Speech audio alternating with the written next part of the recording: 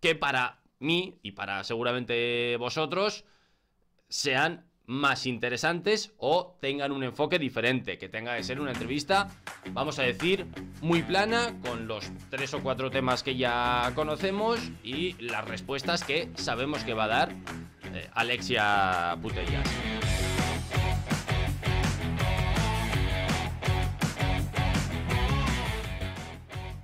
¿Qué tal? ¿Cómo estáis? Bienvenidos a un nuevo vídeo, soy Marcos G. Rayado y vamos a hablar de fútbol femenino, por eso aquí soy Marcos Footfem. Bienvenidos a un nuevo directo y vamos a repasar toda la actualidad del fútbol femenino. Gracias por estar acompañando una nueva transmisión. Si lo estáis viendo desde YouTube, recordad, dejad vuestro like en el vídeo, suscribiros al canal y si queréis aún más contenido, seguidme en Twitter, en Twitch, en Instagram, Marcos Footfem en todas las redes sociales. Para empezar, de momento el chat está abierto para todo el mundo, para que vayáis saludando, para que os vayáis presentando, aunque ya sabéis que estos directos simultáneos Twitch y en YouTube van a estar restringidos el chat solo para suscriptores en YouTube y para miembros del canal. Al revés, para suscriptores en, Twitch y para miembros del canal en, en YouTube. Vamos con el repaso de noticias, vamos con el repaso de actualidad. Podéis comentarme por el chat de qué temas queréis que hablemos. Yo tengo tres o cuatro apuntados. Vamos a comenzar eh, repasando lo más interesante de la entrevista que se publicó anoche en el larguero, entrevista a Alexia Putellas. Tengo que comentar que no he visto la entrevista al completo, es decir, no he visto el audio al completo, sí que he visto extractos, sí que he visto declaraciones de la futbolista del, eh, del Barcelona. Eh, contestando las preguntas de, la gente de la cadena de la cadena Ser. Y he visto varios comentarios por, Twitter también o por, redes sociales elogiando la figura de, Alexia Butellas. Yo creo que eh, respecto, respecto a esta entrevista podemos valorarla de, de dos maneras diferentes, ¿no? Por un lado, a nivel periodístico, a mí me parece que es una entrevista prácticamente intrascendente. Es decir, si tomamos las preguntas o los temas o los temas de los que hablan sin saber las respuestas de Alexia e intentamos adivinar, averiguar cuál iban a ser las respuestas de Alexia Butellas, creo que acertaríamos en un 90% de, de, las respuestas o de cuál iba a ser el mensaje eh, transmitido por Alexia. Por lo tanto, y entiendo, no quiero empezar con una crítica a nivel periodístico, sin serio periodista ni, ni nada de ello, ni nada relacionado, ¿no? Pero entiendo que en las entrevistas, más allá de que sea para ensalzar a determinado personaje y entendiendo que el fútbol femenino todavía no tiene una repercusión eh, absoluta en los grandes medios de comunicación, que el target o los oyentes, pues igual hay muchos que no conocen absolutamente nada de, de Alexia y no puedes meterte en cuestiones que para mí y para seguramente vosotros sean más interesantes o tengan un enfoque diferente, que tenga que ser una entrevista, vamos a decir, muy plana, con los tres o cuatro temas que ya conocemos y las respuestas que sabemos que va a dar eh, Alexia Putellas. Por otro lado, he leído también muchos o varios comentarios de Alexia ejemplar en la entrevista y desde luego que por un lado sí que lo es. Es decir, Alexia tiene un discurso que no sé cuánto habrá de estudiado, porque yo creo que Alexia ha sabido también adaptarse a la repercusión que ha ido ganando por sus logros dentro del campo y por su capacidad dentro del campo, y cuánto de, eh, por un lado, estudiado y por otro, eh, que ella lo sienta, lo sienta así. A mí no me transmite ser, eh, ser una persona que, digamos que es postureo. Yo creo que todo lo que transmite o todo lo que dice lo siente así. Y es, y es verdad, vamos a decir, por lo tanto, por ese lado, creo que sí que es una eh, figura que se puede ensalzar, pero creo que también muchas veces desde, desde los aficionados al fútbol femenino y los que llevamos tiempo siguiéndolo y conocemos a las futbolistas y queremos que trasciendan, eh, tenemos o hay cierta predisposición a elogiar absolutamente cualquier cosa que se diga siempre y cuando esté dentro de las líneas de lo, de lo lógico y lo razonable. No creo tampoco que, que Alexia haya dicho nada fuera de lo común, nada fuera de la línea marcada. Lexa dice entrevista para que le sigan dando entrevistas por parte de, la cadena de la cadena Ser. Eso es cierto. Hemos visto otros periodos de tiempo en los que, bueno, no se hacía esa entrevista, pero de hecho el enfoque que se tomaba sobre cualquier acontecimiento era diferente. Por lo tanto, por ahí, pues bueno, podemos decir que algo hemos, algo hemos ganado. Dani dice no se apartó ni un centímetro del, guion, lo cual me parece bien. Es decir, a mí me parece que Alexia es algo en lo que, además, creo que ha trabajado mucho porque la sensación y lo que se transmite es que a ella es una futbolista a la que no le gusta em, tanto, o tanto como a otras, estar en el foco, ¿no? Y que ha sabido eh, adquirir ese protagonismo también fuera de los terrenos de juego. Pero, como digo, si vamos a, a las respuestas que ha dado, no hay ninguna respuesta que se salga del guion o nos permita a los aficionados comentar algo más allá. Alberito dice, bien que hace, nada criticable ni reprochable. Por supuesto, es que eh, nada criticable ni reprochable, pero no sé si es elogiable, por otro lado. En este caso concreto, ¿eh? en el caso de esta entrevista concreta, que Alexia ha hecho muchas cosas y muchas bien, también fuera del terreno de juego. Pilarica dice que me gusta el salseo. No, no es precisamente el, el salseo. De hecho, si hay una crítica que hacer a esta, a esta entrevista, que tampoco creo que sea una crítica per se, es simplemente una, una opinión, no sería hacia Alexia, sino hacia el tipo de, el tipo de entrevista. Pero ahora vamos a comentar eh, las, las declaraciones y no sé si hay algo que queráis destacar de lo que dice. Es que igual lo más relevante es esa referencia al documental que se estrena en una semana y es un documental que no se ha ido grabando en, en, un gran lapso de tiempo, sino se grabó hace, hace un año y ella además ha dicho que están las opiniones de, vamos a decir, de todo el mundo, ¿no? Que hay que todo el mundo ha tenido la oportunidad de dar su punto de dar su punto de vista. Eh, bueno, eso hace que tenga un poco más de esperanza respecto al, enfoque también del, documental, que a mí no es que sea algo que me atraiga especialmente, ¿no? Eh, ella irá a la gala del balón de oro también.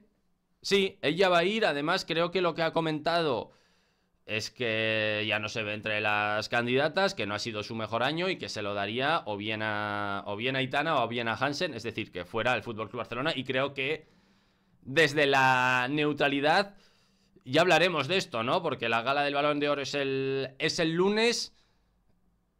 Lo más probable es que yo no hago ningún directo de reacción a ese, a ese tipo. Ya sabéis que los lunes son un día, son un día complicado.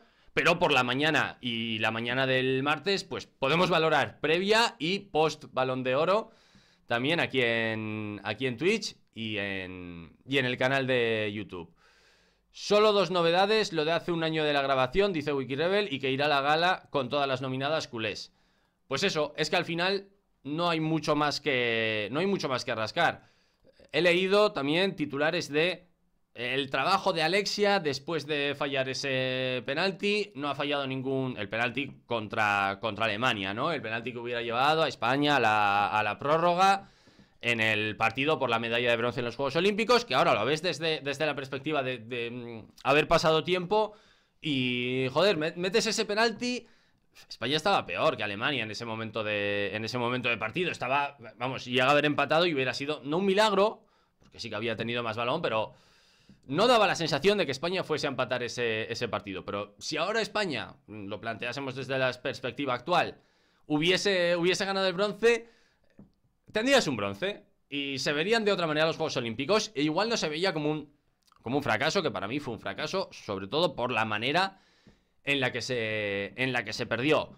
Pero el titular es el, gran trabajo de, Alexia, eh, siempre queriéndose superar y cómo está practicando penaltis después de haber... Dices, ¿qué quieres que diga Alexia? No, fallé el penalti, pero me da igual. ¿Qué queréis que haga? No, me da igual. Pues, hombre, evidentemente eh, las respuestas son las que tienen que las que tienen que ser, no me parece nada reprochable, pero tampoco me parece que haya mucho más que rascar de esta de esta entrevista. Más temas más, más cuestiones. El comunicado de varias futbolistas, de un gran número de futbolistas, de hecho, a la FIFA, a, Infantino, es una carta a, Infantino realmente, por, por el acuerdo de la FIFA con una petrolera de Arabia Saudí. Y dejándome en los en el chat y luego los que lo veáis a posteriori en YouTube, porque esta parte la voy a dejar incluida en el, en el fragmento que suba. ¿Qué opináis? ¿Qué opináis al respecto? Yo en esto tengo una opinión muy clara al respecto. Por eso hoy me he puesto una camiseta de Qatar, de la selección de Qatar. Creo que esperamos la perfección en aquellas personas que reclaman cuestiones justas, vamos a decir, cuestiones eh, razonables, en lugar de poner en foco sobre aquellos que hacen cosas mal. No quiero dejarlo todo en bien mal, ya sé que es una categorización muy muy fácil, pero creo que sabemos de lo que estamos hablando. Es decir, lo leía por Discord. Entiendo que Vivian Midema se ha marchado esta temporada del Arsenal al Manchester City. Que el Manchester City tiene jeques como propietarios cuya fortuna viene de un estado y en ese estado mm, también la cuestión con los con los derechos humanos, pues puede que puede no. No es un lugar idílico, vamos a decirlo eh, finamente. Como no es Arabia Saudí, como no lo es eh, Qatar. Pero al final, creo que es incorrecto poner el foco en las futbolistas que lo reclaman. Que todos tenemos que... Que todos tenemos nuestras incongruencias, eh, en cierto modo, nuestras incoherencias. Nuestras contradicciones, como dice, como dice Amaya. A mí el eh, decir eh, Vivian Midema firma esta carta, pero luego bien que juega en el Manchester City, me suena un poco a eh, muy de izquierdas, pero tiene un iPhone. Me suena a mucho protestan, pero que se vayan, muy feministas, pero que se vayan a, Arabia Saudí. A ver. Primero, no puedes luchar todas las guerras. Segundo, a este tipo de guerras, que yo creo que por otro lado a la FIFA le va a dar lo mismo, aunque lo firmen absolutamente todas.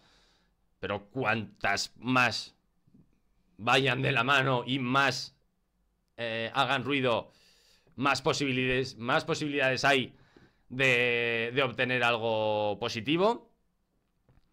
Pero sobre todo, que no me parece que la atención tenga que ir centrada en lo que han hecho eh, las futbolistas, o lo que no han hecho, o como de perfectas son. Si la FIFA se está, porque lo sabemos, se está cachondeando de los aficionados, si la FIFA es un organismo mafioso, habrá que decirlo. Y luego ya veremos, y luego ya iremos eh, a lo específico y a ver si se puede hacer algo también para, para acabar con los con los clubes Estado, por ejemplo. Pero yo creo que el, planteamiento de partida es ese. Es decir, y, ya se están jugando algo, porque parece que eh, emitir este comunicado, bueno, no, no pasa nada, ¿no? Han dicho lo que viene. No, no. Eh, todo esto también tiene sus repercusiones. No sé cuáles ni de qué alcance, pero también hay que ponerse ahí. Porque lo más sencillo es no decir nada nunca. Lo más sencillo es mirar para otro lado, callarse y, y decir es que el mundo funciona así. Como el mundo funciona así, e insisto, yo hay muchos temas en los que... En los que soy así también. En los que puede que haya algo que no me, que no me guste, pero al final... Mm, vamos a decir, te adaptas a ello, te, te conformas con ello porque sabes que no puedes hacer nada. Tienes que elegir también qué batallas luchas.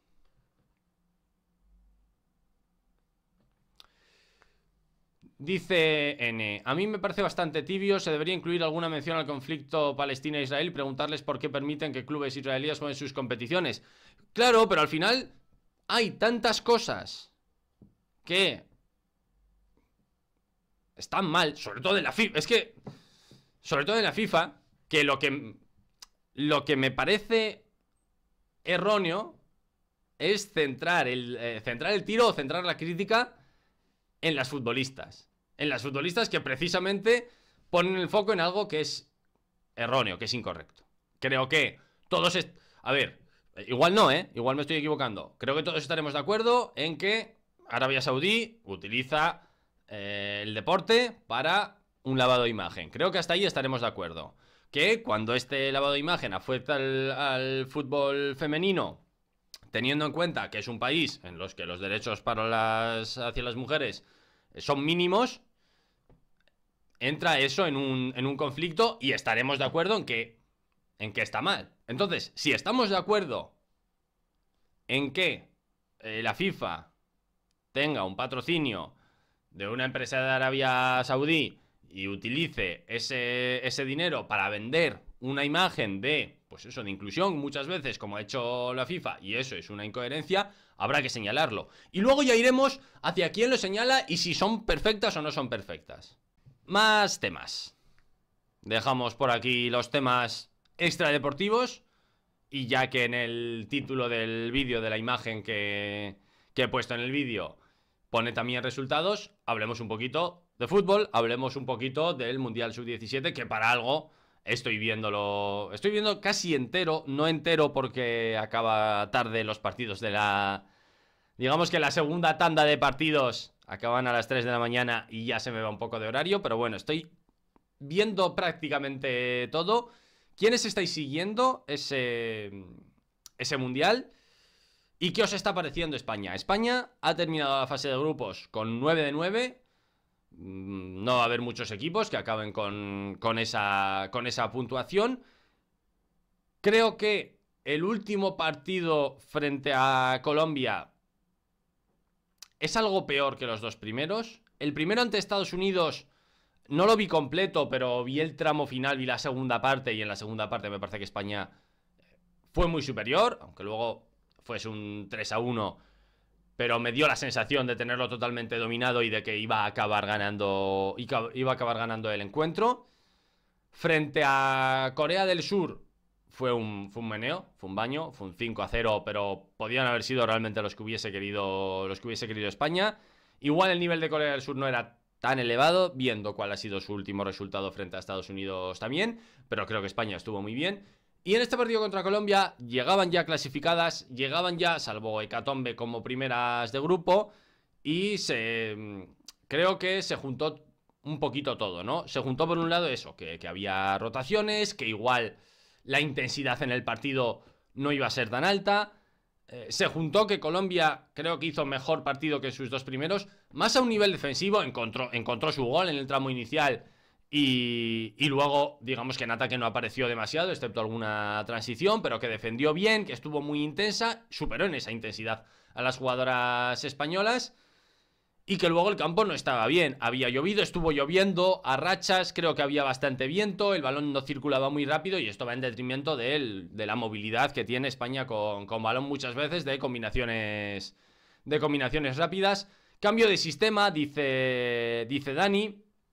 Bueno, probó varias cosas ese Kenio Gonzalo. España no jugó bien, no hizo un gran partido, especialmente una primera parte, una gran primera parte, pero igualmente sacó adelante el encuentro y en la segunda, no creo que fuese un partido de, de una España arrolladora, pero Colombia, que además se quedó con 10 en la segunda parte de una manera, de una manera justa. Es decir, a Colombia, digamos, en este partido le fue saliendo todo mal también. Tenía que ganar y esperar que Estados Unidos no ganase. Estados Unidos se puso 2 a 0 muy rápido contra Corea, por lo tanto Colombia al descanso ya sabía que no iba a tener opciones de no iba a tener opciones de pasar. Eh, gastó las reclamaciones de VAR muy rápido con jugadas que yo creo que estaban mal reclamadas y luego igual tenía opción de haber reclamado alguna y ya no tenía esas, esas reclamaciones. Eh, cometió un penalti tonto que me, no es que metiera a España en el partido porque España estaba llegando, pero eh, muy pronto en, segunda mitad, con toda la segunda mitad por, por delante. Y claro, al final también se le iban cayendo. Se le iban cayendo las fuerzas. Eh, la expulsión, que es tonta, es expulsión clara, ¿eh? Es un manotazo sin balón que no sé a qué viene. Pero, pero también, claro, te hace estar con 10 durante media hora. Entonces a Colombia, que yo creo hizo un partido bastante acorde a las expectativas y donde ha perdido realmente las posibilidades de pasar, ha sido en los dos primeros encuentros, le fue yendo todo en contra y España, que se mantuvo en una línea de menos a más, sin que el más fuese muy muy alto. Luego en la segunda parte eh, cuando fueron entrando futbolistas, vamos a decir, más titulares. Véase Pau Comendador, que creo que por... No sé si decir por instinto, por, por determinación, a mí me da la sensación de que es la líder de este, de este grupo, o por lo menos la que los rivales tienen más marcada como eh, la jugadora a temer. Y eso que hay mucho, hay mucho talento en, toda la selección española, ¿eh? hay muchas futbolistas que te pueden desequilibrar el partido. Entonces, poquito a poquito fue, fue encontrando más espacios, mucho centro lateral, lo cual eh, muchos van a criticar, pero a mí me gusta.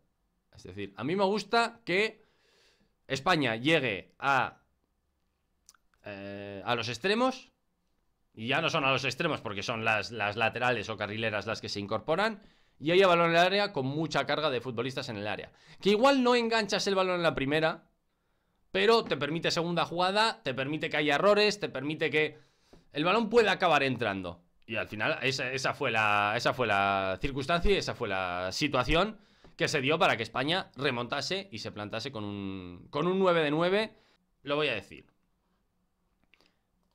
Creo que España es favorita ahora mismo para ganar el, Mundial Sub-17. Habiendo visto un poquito de todas las elecciones.